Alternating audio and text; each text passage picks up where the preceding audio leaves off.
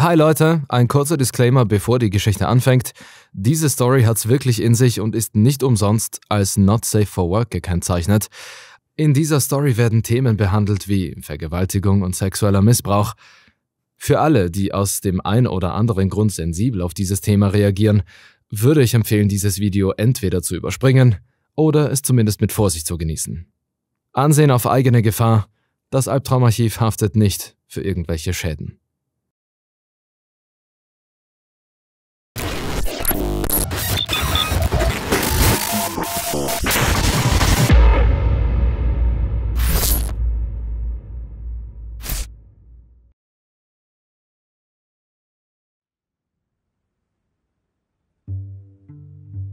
Ed schüttete das Letzte, was sein gekrümmtes Gemächt zu geben hatte, in die Frau unter ihm.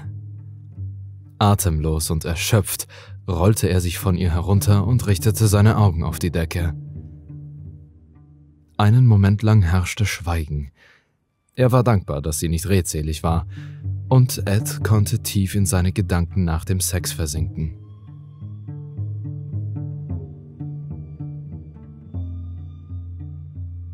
Warum tun wir die Dinge, die wir tun? fragte er schließlich, ohne es zu wollen. Denk mal darüber nach, fuhr Ed fort. Tag ein, Tag aus, es ist derselbe alte Scheiß. Gefällt das irgendjemandem von uns wirklich? Es ist alles so sinnlos, so, so normal. Lucinda schwieg, aber Ed gab ihr sowieso keine Zeit zu antworten. Weißt du, Lucy, ich habe es satt, sagte er. Verdammt, ich bin es mehr als satt. Ich sehne mich nach einer Veränderung. Ich platze aus allen Nähten. Ich. Da ist etwas in mir, eine, eine Art Feuer und, und es will raus. Und wenn es nicht bald rauskommt, dann... Was dann? fragte er sich. Die Antwort kam mit unangenehmer Schnelligkeit. Dann werde ich verdammt nochmal ausrasten. Er ließ die Stille wieder verstummen. Hatte er das gerade wirklich gesagt? Ja. Er konnte es nicht mehr leugnen und nicht mehr zurückziehen. Diese Gefühle brodelten schon so lange in ihm, aber noch nie hatte er sie ausgesprochen. Jetzt, wo er sie ausgesprochen hatte, war es, als könnte er nicht mehr damit aufhören.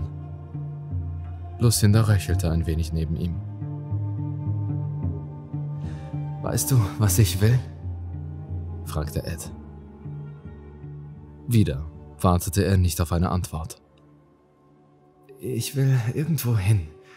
Vielleicht in den Westen. Ja, genau. Das ist es. Kalifornien oder, oder Nevada. Oh, verdammt, Nevada wäre so schön. Kilometerlange Wüste. Dort könnte ich meine tiefsten Sehnsüchte ausleben. Weißt du, was ich wirklich will, Lucinda? Lucinda lag teilnahmslos da und sah an die Decke. Er lachte über ihre leidenschaftslose Erscheinung. Na gut, dann werde ich es dir sagen, wenn du so interessiert bist. Seine Augen schwebten zurück zur Decke, wo er die Szenen aus einem Fantasieleben im Westen projizierte. Ich will mir ein Mädchen besorgen. Verstehst du? So wie du. Nur jünger. Nichts für ungut. Ich will mit ihr einen schönen Abend verbringen. Sie wird es sich später verdienen, wenn du verstehst, was ich meine. Er stieß Lucinda spielerisch mit dem Ellbogen an, aber ihre Kälte ließ ihn verstummen. Er fuhr fort. Weißt du, ich will sie so richtig schön besoffen machen. ja, besoffen. Dann lade ich sie in mein Auto und fahre mit ihr weit hinaus in die Wüste.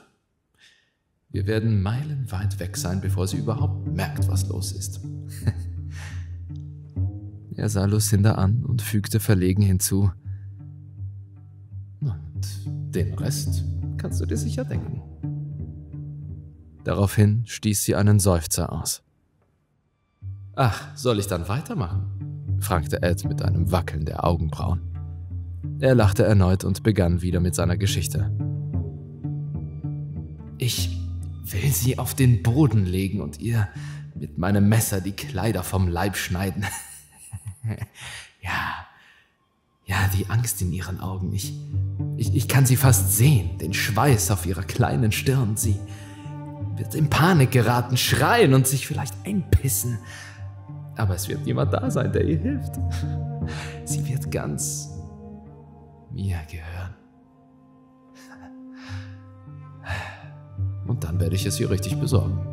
Genauso wie ich es dir gerade gegeben habe. Aber es wird noch besser sein. Sie wird nicht so willig sein wie du, Lucy. Er drehte sich zu Lucinda um und zwinkerte ihr zu.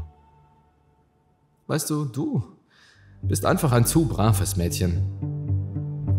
Er hielt einen Moment lang inne, starrte sie an und kicherte, weil es so wahr war. Wie auch immer. Wenn ich fertig bin, fuhr er fort, dann fängt der Spaß erst richtig an.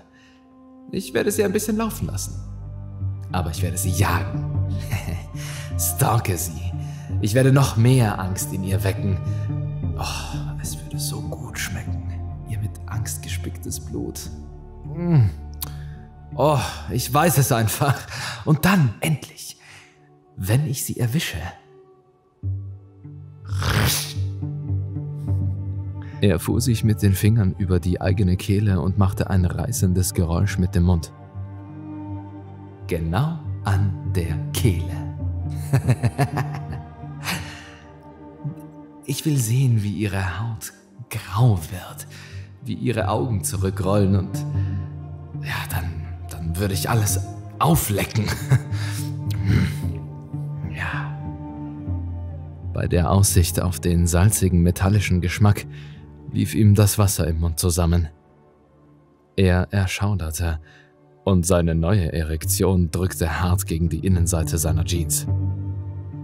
Ach, scheiße, ich würde so viel Zeit allein in der Wüste verbringen. Ich würde jede verdammte Sekunde davon ausnutzen. Hm, ich könnte sie sogar da draußen verscharren, wenn ich fertig bin.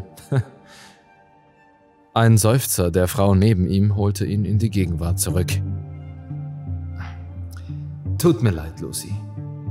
Ich habe mich ein bisschen hinreißen lassen. er setzte sich auf und schielte auf die Uhr, die an der Wand hing. Ach, verdammt, sagte er. Sieht aus, als wäre die Pause vorbei. Er schwang seine Beine über die Tischkante und hüpfte hinunter. Lucinda keuchte dabei ein letztes Mal, woraufhin er sich zu ihr umdrehte und lächelte. Weißt du, du bist großartig. Mit deinen kleinen Ausbrüchen ist es fast so, als würdest du wirklich zuhören. Ich mag dich, Lucy. Du bist genau in der richtigen Phase. Die leeren Augen der Frau starrten ihn an, als er ein letztes Mal eine ihrer blassen, hängenden Brüste streichelte.